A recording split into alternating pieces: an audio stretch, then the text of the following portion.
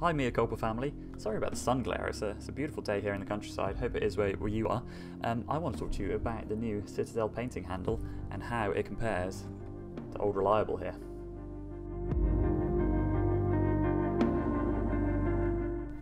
So without further ado, let's take a look at this new Citadel painting handle.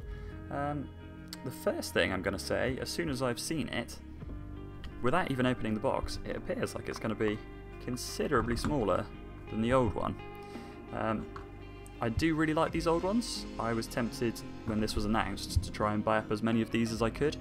Um, it's probably my OCD more than anything, but I'm a big fan of these old handles. Um, I've kind of modified these in a way that works for me. Um, you can see I've stuck a magnet on the bottom here, and that's just because if you're leaving this overnight, um, it's not not that sturdy. It, you know, it's fairly top heavy.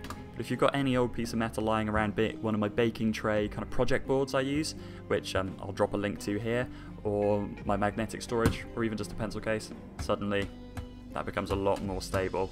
So I'm hoping that underneath here there's enough room to add a magnet as well. Um, but let's let's crack it open and take a look.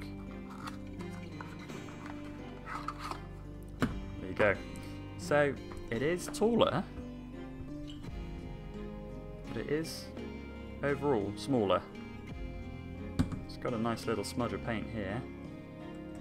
That's fine though, it's going to be covered in paint one day I'm sure.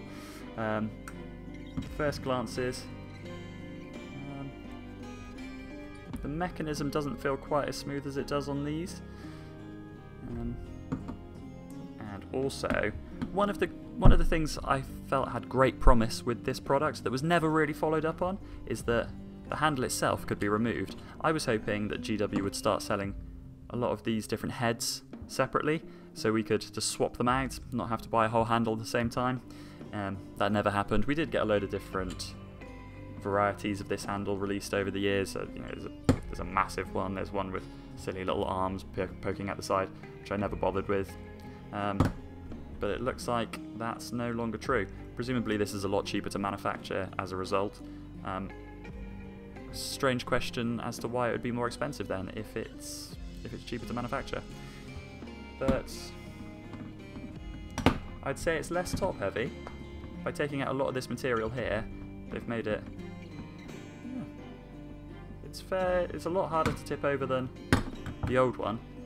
And there is a fairly deep recess here um, I'm going to be able to stick a couple of magnets in there at the very least, so that's that's a bonus for me. I know I'm probably the only one in the world who does that, but that's one of my favourite things about this handle. So, let's see how it actually holds a Mini. I've got a variety of different little little fellas here that I've had to hand. Um, this is a 25mm base. It's a Snotling from a Blood Bowls team that I'm, or a Blood Bowl team that I'm painting at the moment. In the old one, clips in there fine. It's got it's got a little circular shape that hugs it perfectly and he is not coming out no matter what you do. Let's see how he fits in the new one.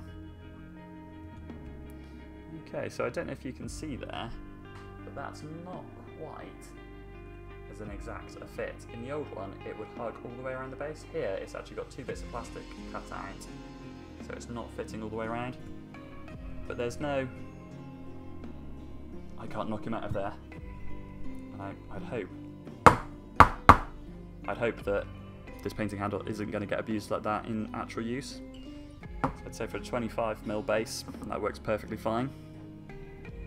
I do worry that not not having the exact shape of the base in there, it may rub paint off the the edges if you if you've well if you've already painted the sides, which you probably shouldn't before you put them in here in truth, but it does happen occasionally by mistake. Here is, I believe these guys are 32. Shall I just check that? These guys are not... Oh yeah, they are. This is a 32mm base. Um, on the old handle, again, really sturdy, no issues. He's not going to come out particularly easily. And the same could be said for this. Um, there's no massive difference in the way it's held between these two. But, mm, shifted a tiny bit then. But no, he's not coming out either, he's fine. Going up to the bigger sizes, this is kind of the biggest size I would ever use in my old painting handle. This is a 50mm base, 40mm base? I think it's a 40mm. indeed 40mm base. Um, one of the things that worried me with these painting handles is they, I don't know if you can see that, but they almost seem to bow in this kind of direction when you stretch them to the bigger sizes.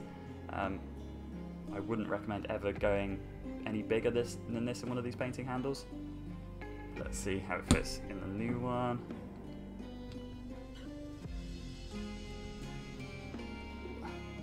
Um, it's bowing again.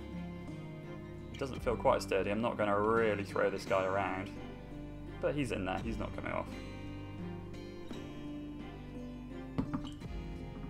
And he's still still fairly sturdy. He's not, or stable that is. He's not not wanting to fall over, which is great. Um, I've got a 50 mil. Very optimistically here, I brought a 50 mil model as well. That's, but no, you still have to go and buy the the heavy duty, the extra large, whatever the, the version of this they called, which was much bigger. Um, I really don't like holding something something that big, a base that big, on one of these painting handles. It just seems impractical to me. Um, when it comes to to form factor and kind of comfort, I'd actually say I prefer this new one. Being completely completely smooth. I mean, there's not much in it in reality. The difference being, I guess, you can you can hold it like that as opposed to like this. You're getting a hmm, there is a difference in the grip. Perhaps this is going to give you less RSI? Hmm, I don't know. I think this may be a tiny bit skinny for my hand. I haven't got the biggest hand in the world. Um, it's not uncomfortable. I wouldn't say there's a, there's a massive amount of difference between them. Um, the only other downside to this is you probably don't want to leave it lying around where the vicar's going to see it when he pops around for tea. Um, does look a bit dodge. But overall, I'd say I'm not unhappy with these, and I think I'll probably end up getting a couple of these as well, magnetising the bottoms. Um, it's nice to see that actually I could fit an even larger magnet in there, so I could probably attach it to one of these trays, and it's never going to come off. It'll, I could probably go through an earthquake and it's not going to tip over. And it is nice seeing that they have that that top heavy kind of problem with this guy fixed quite easily.